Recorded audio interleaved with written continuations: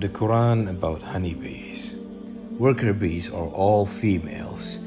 The worker bees, those who gather pollen and make the honey, are actually all females. The male bees do not make honey. This was only known recently. However, 1400 years ago, the Quran refers to bees that generate the honey as females. The Arabic grammar is in the female mode in the Quran. And your Lord Allah revealed to the bees, build your hives in mountains, trees, and in what they build. Then eat for females from every fruit and follow for females your Lord's enslaved paths. From its bellies, butuniha, exits drink of different colors. In it, healing for men. These are signs for those who contemplate. For the word eat, kuli, is for females, kul is for males. The Quran used kuli, females. For the word follow a path, usluki, is for females, usluk is for males.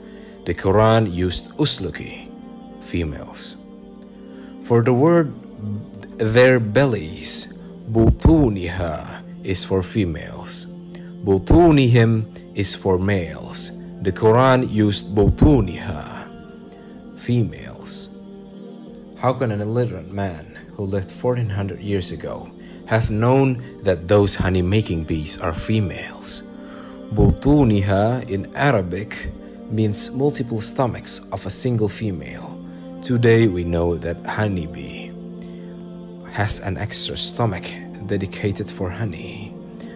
How can an illiterate man who lived 1400 years ago have known that a honeybee has an extra stomach for honey? Bees build their hives from their own wax.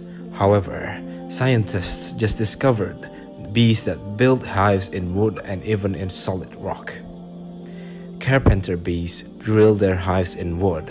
Some bees can even drill in solid rock in the Quran. And your Lord Allah revealed to the bees, Build your hives in mountains, trees, and in what they build. Allah subhanahu wa ta'ala ordered the bees to drill in mountains, solid rock, trees, wood, in addition to the known wax hives. How can an illiterate man who lived 1400 years ago have known that bees can drill in solid rock?